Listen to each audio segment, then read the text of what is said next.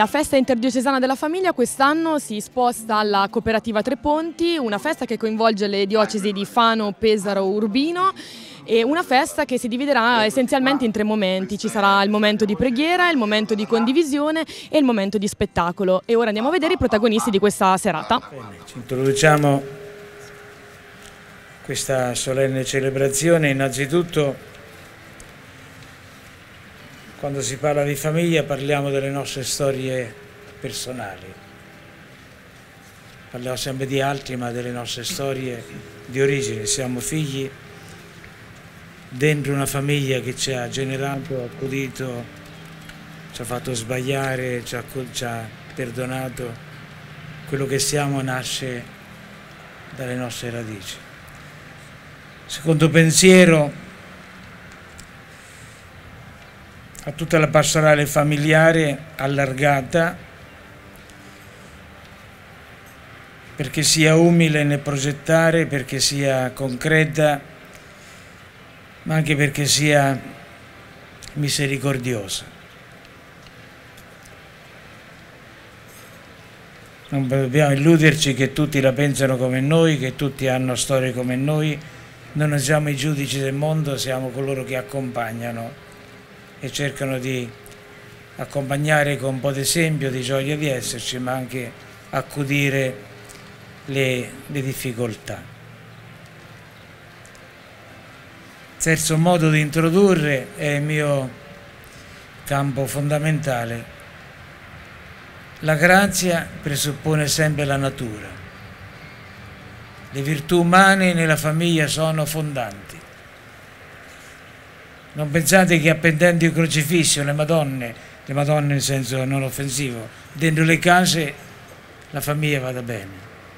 La famiglia ha bisogno di struttura, di personalità, di equilibrio, di capacità di tenuta. La grazia presuppone sempre la natura.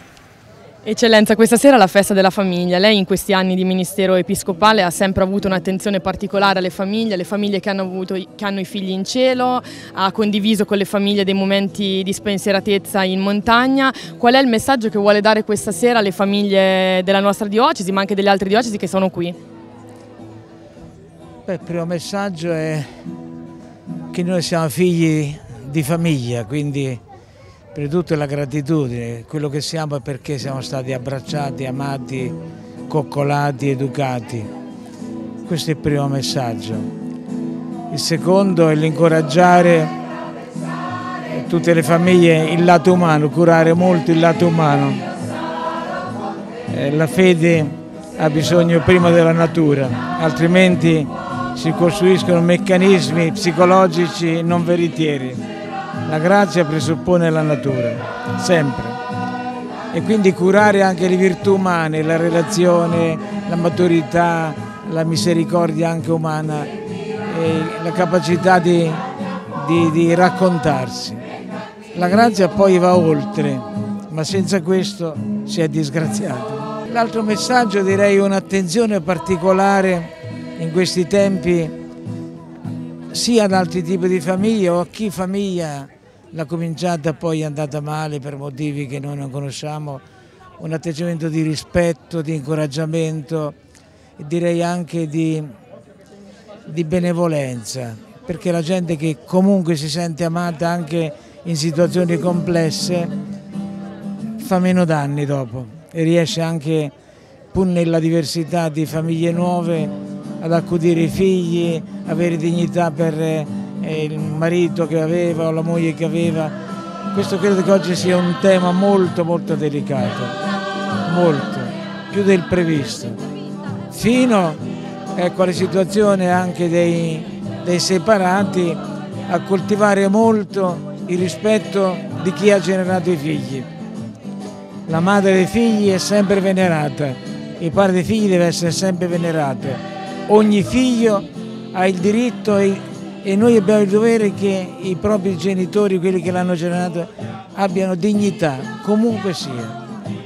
E, oltre questo noi faremo del male irreparabile a intere generazioni. Tutti gli anni a Pasqua lei ha fatto una lettera indirizzata alle famiglie con un tema particolare. Se dovesse dare un tema alla serata di questa sera, quale sarebbe? Beh, mi prendi di sorpresa, ma il tema vorrei dire famiglia è bello e chi ce l'ha, pur nelle difficoltà, che sappia narrare la bellezza. Oggi non i temi teologici costruiscono le relazioni, ma le relazioni. Io dico sempre uno slogan, la teologia parla del pane, la pastorale spezza il pane. La teologia della famiglia è importante, ma se non ci sono famiglie che in qualche modo eh, si realizzano e dicono che vale la pena, la teologia non, non tocca il cuore. Chiesa è, vol- è bellissima perché la Chiesa, la Chiesa è appunto una grande famiglia, perché siamo tutti figli di un solo padre e tutti fratelli. E quindi grazie per aver donato a tutti noi eh, vescovi, diaconi, sacerdoti, religiosi, religiosi, cioè siamo davvero un piccolo, eh, come dire, modellino di chiesa, di questa comunione grande e questa festa della famiglia allora non è solo la festa della famiglia, ma è la festa della Chiesa famiglia. E quindi mi auguro, dove sono i responsabili della pastorale familiare, mi auguro che ogni anno eh, si cresca sempre di più, portiamo avanti questa tradizione bella e dove possiamo ritrovarci come famiglia così. Grazie a tutti. Grazie.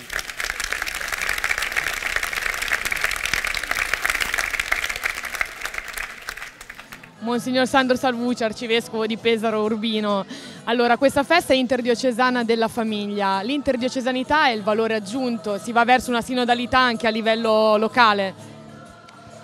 Certamente eh, si sente il bisogno di rafforzare questo vincolo, questo legame eh, tra le chiese vicine, sorelle della metropolia di Pesaro, fanno parte dell'unica provincia ecclesiastica Pesaro, Urbino e Fano. C'è già una bella tradizione che io ho trovato di lavoro comune, di cammino insieme. E credo che c'è tanto desiderio, il terreno direi che è preparato eh, per continuare eh, in questa direzione e a crescere sempre di più, eh, una collaborazione in vista delle sfide che ci pone eh, la pastorale questi, di questi tempi, in questo mondo così cambiato, velocemente cambiato, una pastorale più vicina ehm, alle persone nel senso più proiettata a, alla dimensione proprio della missione.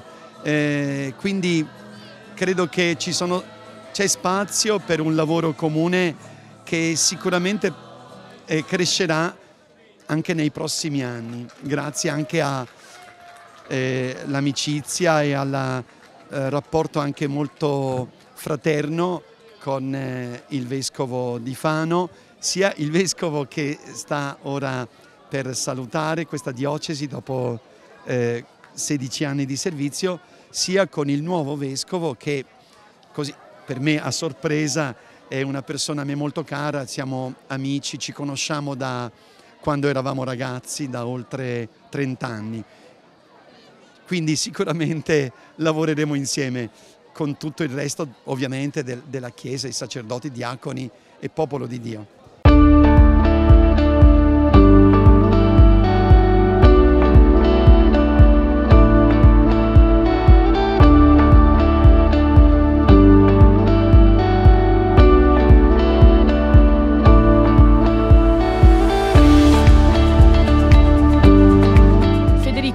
Vescovo all'inaugurazione del centro parrocchiale di Lucrezia ha detto eh, che poi quello che è stato il suo motto episcopale di questi anni, non abbiate paura.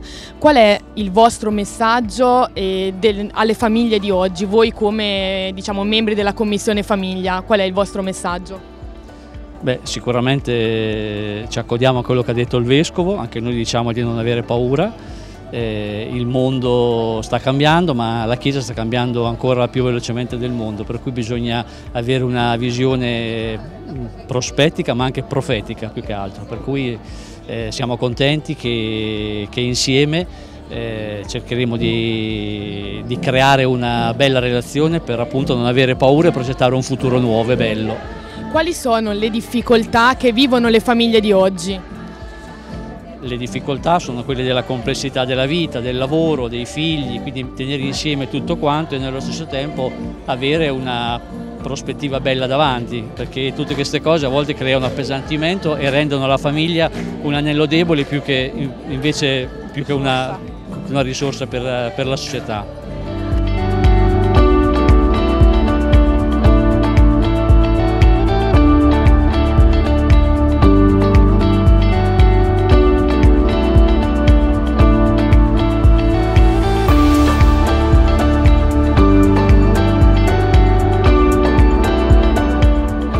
Banca di Credito Cooperativo di Fano è da sempre vicina al territorio e alle famiglie, non poteva mancare questa sera una festa dedicata proprio alla famiglia. Certamente, come Banca di Credito Cooperativo siamo nati in una parrocchia di conseguenza vicini al territorio ai più bisognosi. La storia nasce proprio nel, eh, diciamo, nelle periferie dell'area dell contadina eh, del nostro territorio. Siamo vicini alle famiglie, vogliamo bene a tutte le parrocchie perché le stiamo aiutando tutte nelle ristrutturazioni e quant'altro, non potevamo non esserci questa sera per un saluto al nostro Vescovo. Quali sono Luciano i valori che incarna la banca di credito cooperativa e che si possono diciamo, mettere in comune con i valori della famiglia di oggi?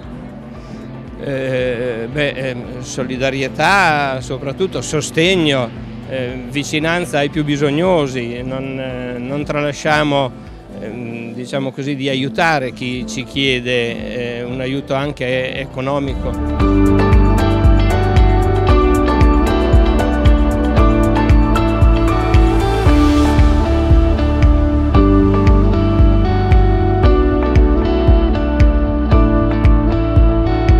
Gino, questa sera la cooperativa Tre Ponti ospita un evento importante, addirittura un evento interdiocesano come quello della festa della famiglia. Qual è il valore aggiunto di questa festa per la cooperativa Tre Ponti? Naturalmente quando si è posta la domanda di dire la location può essere Tre Ponti per questo evento provinciale, no? Naturalmente.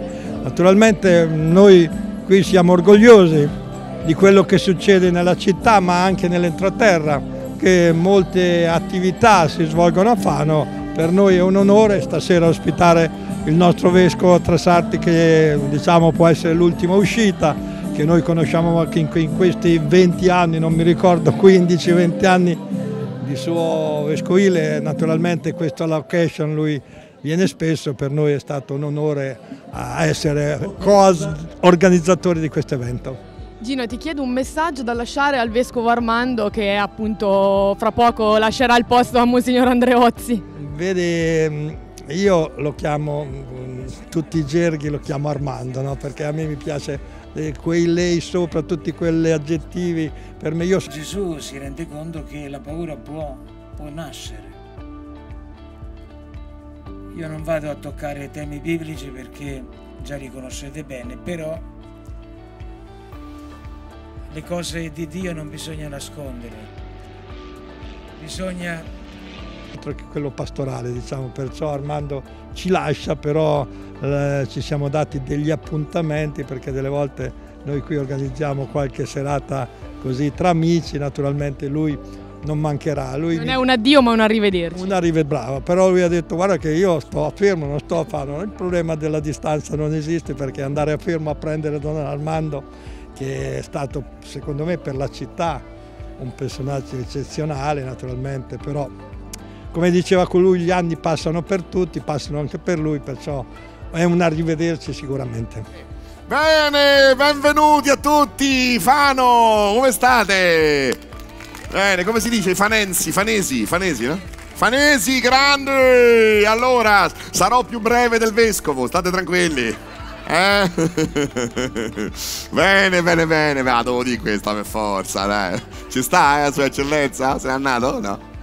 Va bene, va bene, no, eh, va bene, va bene. Allora, allora, no, no, sono più lungo del vescovo. bene, bene, bene. Allora, io, eh, allora, io diciamo, ho, mi sono appassionato alle storie dei santi e nella mia vita insomma l'ho studiata abbastanza e, e, e la, la, la, la cordiera, bravissimo. E, e, e ho scoperto una cosa, che l'opinione che si ha sui santi è cambiata tante volte nel corso della storia. Giovanni, questa sera porti in scena anche i santi Anni Brufoli, cioè sì. che messaggio ci vuoi dare? Che anche i santi hanno qualche difettuccio? Beh, non è che solo, non è questione solo di difetti, quasi, è proprio questione di fisiologia, cioè anche i santi hanno, eh, hanno bisogni e funzioni fisiologiche, come il pus, i brufoli, eccetera, cioè sono esattamente come noi, sono, sono persone che hanno esattamente i bisogni, i desideri e le aspirazioni che abbiamo noi.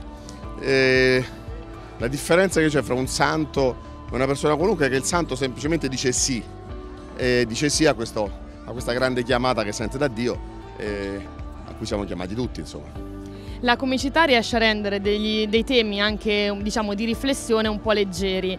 In questo caso quanto è importante la comicità per far passare questi messaggi? Ma io non lo so se è importante la comicità, anzi la comicità certamente non è importante, è semplicemente il mio mezzo che ho, il mio strumento che utilizzo, è quello che so fare io, qualcun altro utilizza il dramma.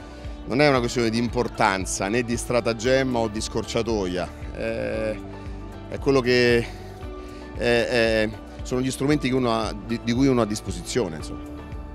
L'opinione che si ha del Santo Padre, del nostro pontefice, il nostro pontefice in carica, Papa Francesco. È molto interessante l'indice di gradimento del nostro pontefice in carica nel corso degli anni del pontificato. All'inizio All'inizio appena arrivato sul soglio di Pietro, no? appena si è affacciato dal balcone, ha fatto buonasera tutti, ah, lui sì che è un grande papa, eh, mito, ha detto buonasera, mito, no? Fantastico, grande, sì, yeah, wow, wow. tutti a dire, lui sì che è un grande papa, tutti, proprio tutti, no? Poi, eh, tu, pure gli altri anticlericali, tutti, no? Eh, no non come quell'altro, non come quello che c'era prima, quello tedesco antipatico, quello con le scarpette rosse, Ratzinger, poverino, stava sul cazzo a tutti, no? Poverino poverino, perché lui, vabbè, perché un po' era tedesco, un po', cioè, non, non era bravo a comunicare, cioè una pippa proprio, cioè qualunque cosa dicesse, eh, tutti a dire che era nazista Francesco dice le stesse cose perché il cattolicesimo è questo da 2000 anni, eh, però le dice un po' più tango, un po' più rumba, eh, tutti a dire ah lui sì che è un grande papa, no come quell'altro, lui sì che è un grande papa, no come quell'altro, lui sì che è un grande papa, no, lui sì, proprio, è proprio il suo nome, lui sì che è un grande papa primo, è proprio questa festa da diocesana è diventata di metropolia, quindi ovviamente abbraccia anche la, l'arcidiocesi di Urbino. Quali sono i valori che dovrebbe incarnare la famiglia di oggi? Beh, sicuramente i valori che ci hanno insegnato i nostri nonni, i nostri genitori, quindi quelli incentrati sulla figura di Cristo eh, nella misura in cui ecco, essere compassionevoli e amare il prossimo. Che cosa fa ehm, diciamo, venire, fa arrivare le famiglie qui a questa festa? Qual è eh, l'input? Secondo me è il fatto appunto di incontrarsi, di fare comunità e di eh, stringersi in una fratellanza che è molto molto sentita all'interno ecco, di queste nostre diocesi. Quanto sono importanti questi appuntamenti anche per rinsaldare l'amicizia fra famiglie? Importantissimi credo perché al di là di quello che si fa nelle parrocchie tanto si fa delle varie diocesi eh, io penso ecco, che questi incontri poi ecco, facciano in modo che tutte le diocesi si possano ancora di più ecco, conoscere e quindi incontrare sì.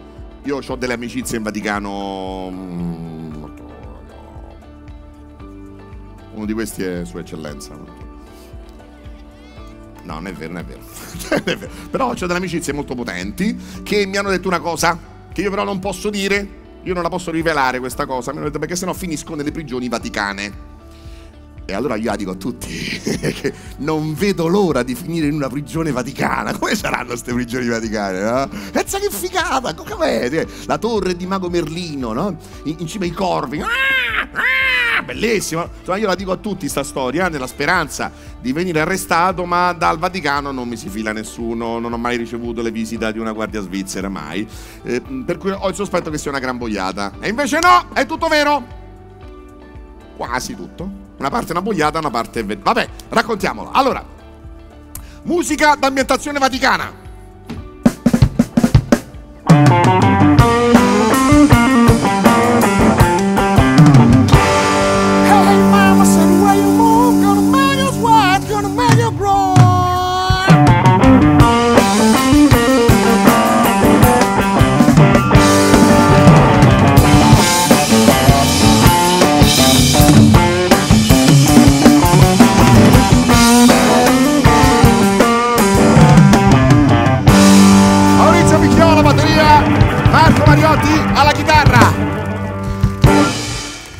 Musica non c'entrava niente, era solo per farli sfogare un pochetto. Allora, Maria Elde, se dovessi definire con tre aggettivi la famiglia di oggi, in crisi, bella, una potenzialità, direi questo.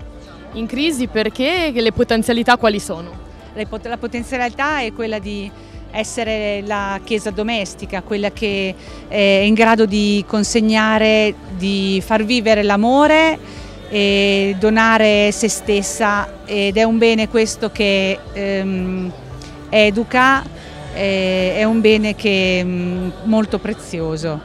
Critica perché è in crisi forse perché la società ehm, in questo momento ehm, la mette un pochino in difficoltà, ecco, quindi la sua identità però è importante e deve mm, manifestarsi fortemente perché la società ha bisogno della famiglia. E qual è l'importanza di questi momenti aggregativi come quello di questa sera, interdiocesano peraltro? Beh, la comunione è sempre un momento bello perché educa di per sé stesso e quando la comunione riesce, che c'è uno spirito di armonia, qui c'è lo spirito del Signore e quindi c'è la presenza di Dio. Quindi è importante questi momenti comunitari proprio per vivere la comunione e imparare a essere una comunità.